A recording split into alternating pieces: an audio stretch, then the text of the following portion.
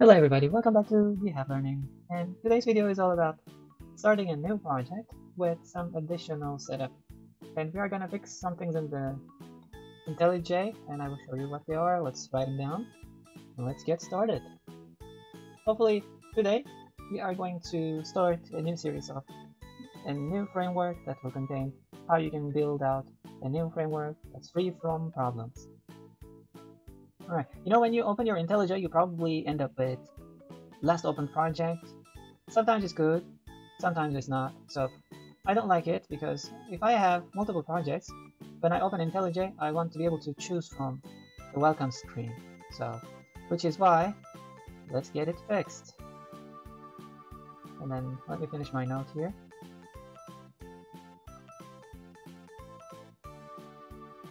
Alright, let's go to File, and then Settings. Let's also write it down here. first you go to File, then open Settings. Next, go to Appearance and Behavior. Next, we're going to go to System Settings. And do you see under the project, uh, it says Reopen Projects on Startup. I don't want to reopen the projects. I'll just uncheck this one. Okay, that's all. Click OK. Let's test it out. If you can get the welcome screen, then we close this project. I am positive that we're going to see the welcome screen, but you never know, right? Alright, so you can see that it opened the welcome screen, and every time I open, it will open the welcome screen so I can choose from the list. Now I have only one framework that shows up here, but when I end up with another one, I'll be able to select that one. Hopefully better for you. At this time, let's create a new project.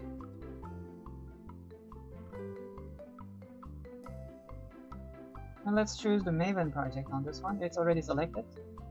If not, you can just click on it. And then we're going to click Next. Here, let's write the name, the name of our project. Let's say we have, what we have test. Let's keep have. In the name field, write the name of your project. You can keep the location same.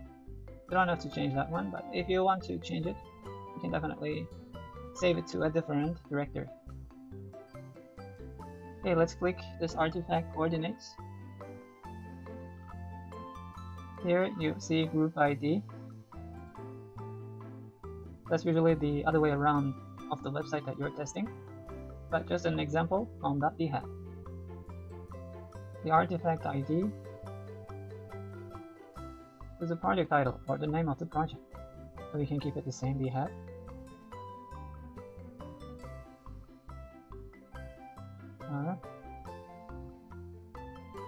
Now it's setting up files and index.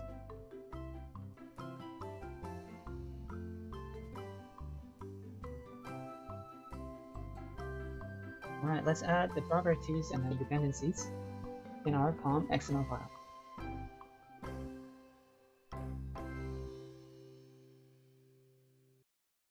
Let's write down dependencies here. Before we add the dependencies, let's write up the properties. We're going to say properties. We're going to open and close, so let's note it down.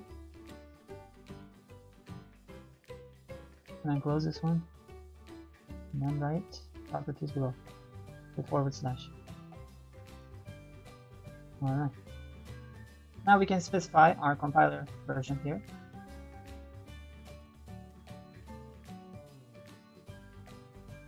say maven.compiler, the target folder. And I'm gonna choose 14 version. You can definitely choose another version that you're working with. Then also maven.compiler.source.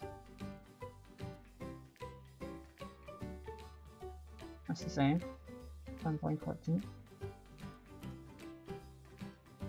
Alright.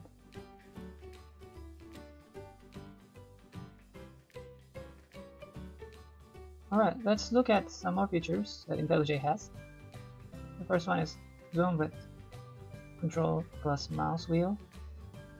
Zoom in and zoom out. That's a good feature. You can also do manually, say increase or decrease font size if you search it. And then let's also look at auto import. You can search here. When you say mouse, it shows you the setting. And then it's already selected on mine. If yours is not, you can just check it.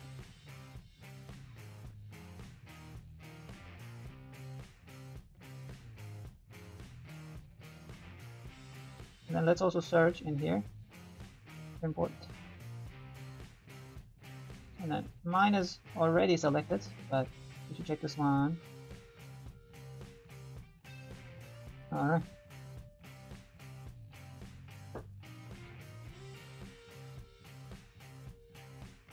Let's add the dependencies now. We're gonna add Selenium, Java, and then Boni Garcia and JUnit. And let's take a look at the first one.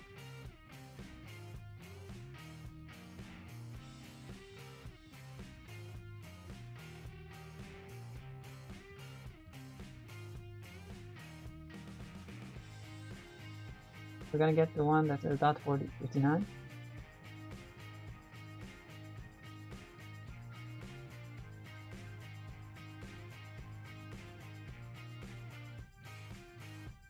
And let's copy it to the dependencies section.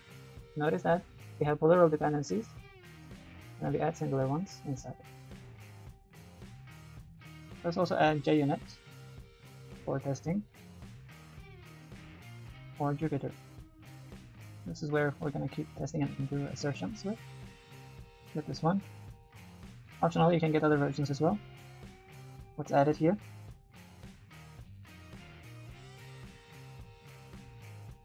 Let's add the other one, Boni Garcia.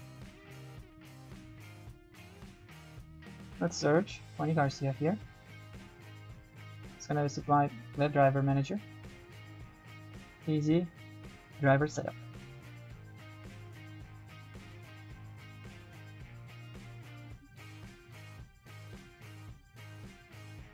version 4. Let's add it to the XML file.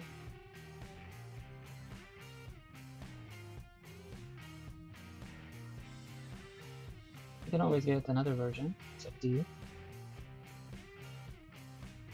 Let's restart IntelliJ and it will download JUnit and Boni Garcia. As you can see, Selenium was already downloaded previously, so it doesn't need that, and just restart. Alright, welcome screen. Let's choose our project. At the bottom, you can probably see that it's loading. You see it at the bottom of the page.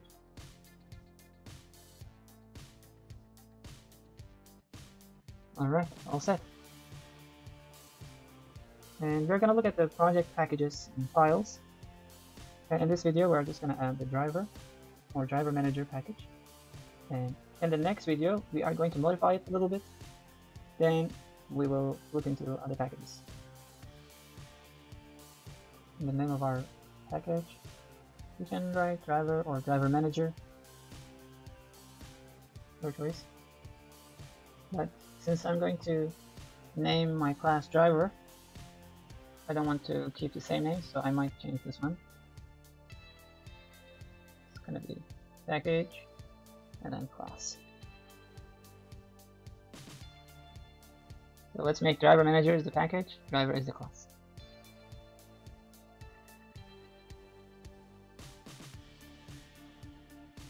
Let's add our Java class.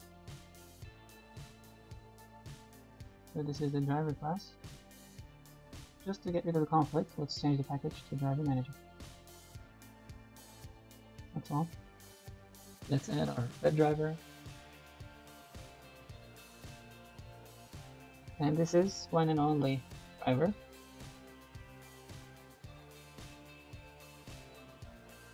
according to the design you can look up singleton design to learn more about it.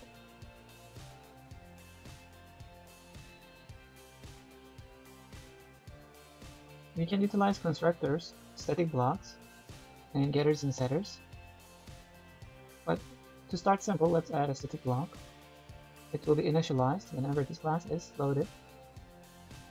And then we can set up the Chrome driver.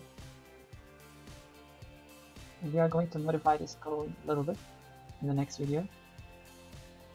Now let's initialize the driver.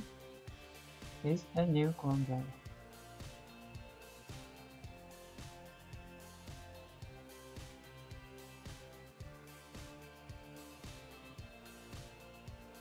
And you can see the note on the right side about static block how it's loaded whenever this class is instantiated. And we're going to have two ways of accessing the driver object by a getter. And let's write an example here. And then in the example, we say get driver dot get this website. Or optionally, you can call driver class and then driver dot lowercase driver because it's a static object. You can call by class name. Thanks for watching. Until next time.